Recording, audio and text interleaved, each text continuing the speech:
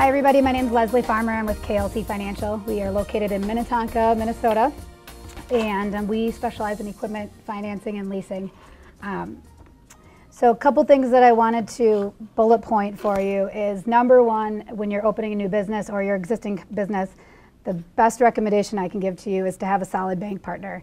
Um, there's a lot of great banking institutions in the Twin Cities that specialize in SBA financing and lines of credit, really just good solid bankers that I think is the number one thing that every bank, every new company should have. Uh, the second bullet point today is um, a capital asset should be acquired with financing or leasing. Save your working capital for other needs, marketing expenses, bringing on a new salesperson, advertising. There's lots of things that come up that you're not really thinking of when you're starting a new business. So utilize other sources when you're looking to buy equipment.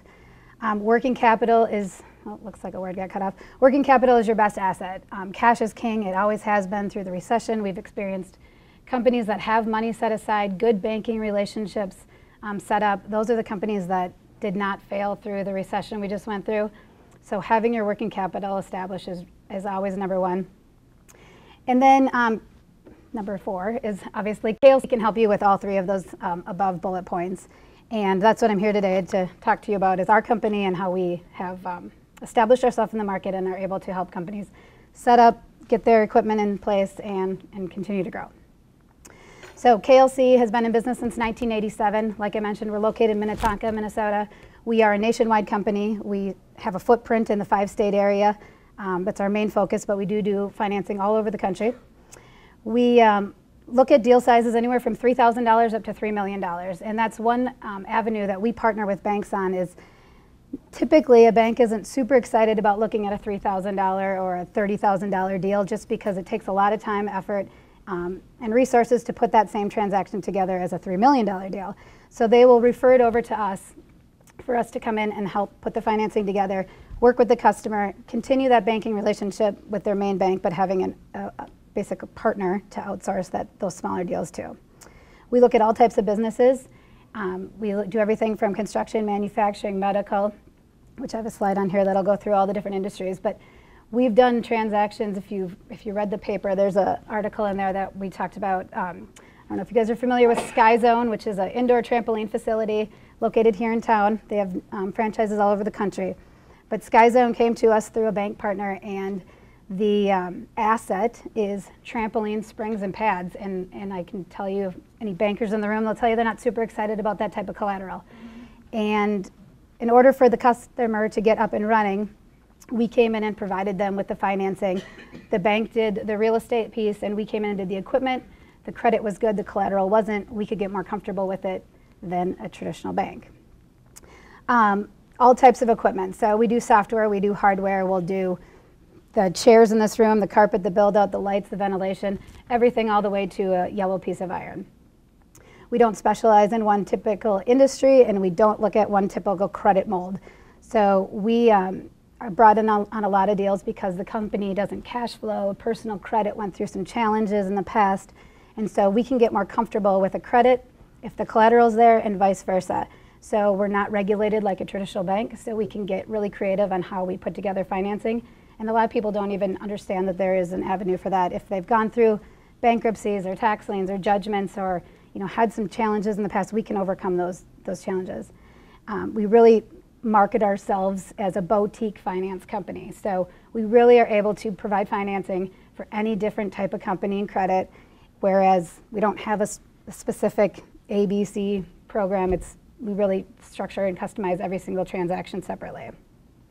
I've been with the company for 10 years, not planning to go anywhere. So if there's any opportunities you think of or know of anybody, I'd, I'd love to uh, talk with them and discuss them with you. Um, we set up several different types of lease transactions. So some of you might be familiar with an operator and a capital lease. Um, in, in layman's terms, a dollar out lease or a fair market value residual transaction. It really comes down to how you want to account for the transaction. If you want to um, keep it off your balance sheet and be able to expense the payment, that's basically the number one selling point of a lease. You can expense that payment, keep the equipment off of your balance sheet, have that write-off, and essentially not pay tax on it. Um, operating lease, so we do. We can also structure different buyout options on the on the end. really keeps your payment lower on the front end with a residual buyout. So a 10% option is pretty common, but we can also do 15, 20, 25, however you want to um, structure it. And like I mentioned, fair market value lease, you'll have a smaller payment on the front end, a big residual on the back end, but it really keeps your cash flow down as you're starting out the lease. Um, we do a lot of seasonal payments and skip payments for the landscaping industry, the agriculture industry, the construction industry. So, you know, higher payments when business is booming and slower payments during the winter months. Our typical term is 12 to 60 months, um, although we can do a shorter lease if, if you're interested in that. And then again, number one rule, capital assets should always be acquired with financing or leasing instead of using your own cash out of pocket or borrowing money from a friend to um, set it up. It's better to establish credit on your own. Some different benefits of leasing, um, conserving your capital for unseen expenses. So there was a lot of different things that went on in the last few years in the market, and I, maybe some people saw it coming, maybe some people didn't. But having that capital in their business, again, is what kept businesses in, in um, intact and not going down the tubes. Um, leasing provides improved cash flow. Typically, we're looking at 100% financing when we're putting out um, capital for equipment. So not the 20% down, we're not looking for your house, your cabin, your firstborn child. We're typically looking at just the equipment that we are financing. Um, it looks at, we're also preserving your business and your personal credit. So we don't report to the credit bureaus unless it goes into default, but we establish a credit with you that if you have um, future needs, we're, we're looking at your, your past performance with us, and that's how we are typically allowing to give out more cash. Um, upgrading equipment. So a lot of software, a lot of websites, a lot of um, things like that have constant upgrades that need to be done. We have a clause in any of our leases that you can upgrade at any time with that um, equipment. It really helps when you're trying to keep on tabs with everything that's changing in the marketplace. And then bundling equipment, software installation, training, maintenance, all of that stuff is something that you typically aren't thinking about when you're looking at upgrading your website or putting in new software. But there's all sorts of little things that show up on the invoice that need to be paid for, and we help with um, those as well. Again, these are the types of industries that we, we concentrate on. I would say there's all sorts of other industries that show up. Um, one that's not on this list that we do a lot of is restaurant financing.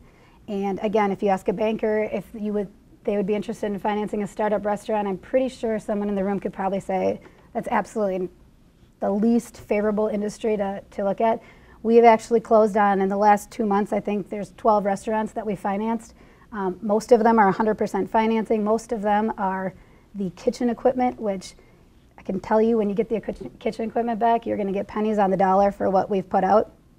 A lot of them are established um, restaurant owners that have been in this before and are starting a new concept. So again, they know the, cre the credit's good, collateral's weak, so we'll take more of a risk on that. Um, so a couple things I just wanted to ask. Is anybody in here just not even started up a business yet? Okay, and, and when you're going out to get financing, I mean, are you going to banks to try to find traditional financing? Are you, are you looking to buy any equipment at the moment that you're hearing no or having any challenges with? I haven't quite gotten there. I know I need equipment stuff, so Okay. it's not that point yet. Okay, so uh, again, first thing I'd encourage you to do is talk to a bank. Find a really strong bank partner. Um, and, and I, what part of what we do is we set, we can work with you on your business plan. We can work with you in trying to find the perfect bank that's going to fit your needs. Um, I can tell you there's great bankers at Wells Fargo and there's great bankers at Beacon Bank down the street. I mean, there's a, a wide variety of banks that, that uh, we strongly would recommend. So if you need that, I'd be more than happy to help. Um, if you're looking at finding the perfect vendor that's going to get you the best deal, I, we have a database full of a million bank or vendors that we've worked with that um, I would say go to them, don't go to them, just from our past experience. So I'd be more than happy to help any of you out with that.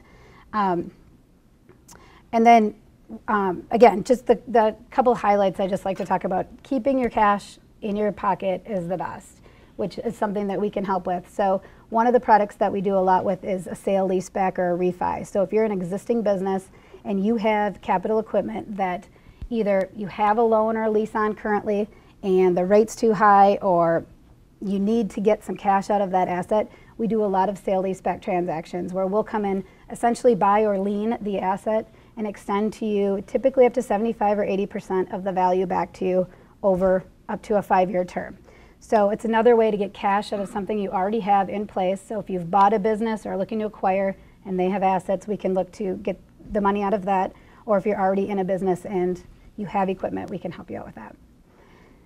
Yeah. Do we do Sharia compliant loans or financing? Do we do Sharia compliant loans or financing? I'm not familiar with that. Okay, sounds good. I'd love to learn though. Um, does anybody else have any questions for me? I should have said you can definitely ask. Yeah, Pat. Could you tell, tell a little bit more of the story of the, the, uh, the trampoline company that you worked with? Yeah. Because they kind of, if I remember when we first talked about this, Yep. They thought they were smooth sailing and everything was gonna be hunky-dory and all of a sudden it almost blew up in their faces. So I think that, there, well, yeah, that, and there's a lot of businesses that if you have good, strong personal credit and you're going in to get um, traditional bank financing, you'll find out really quickly that there's, there's a lot of ways banks structure deals, and they do a great job. Um, if you don't have enough equity in your house or your cabin, or you don't have the, the cash in the bank that they want to see, it's, it's challenging for them because they have, they're regulated, they have restrictions, they have things they have to meet on their end. So this, this trampoline facility, they have really strong personal credit. Um, the owner was a franchise owner of a previous industry in the past, and so he had some money in the bank.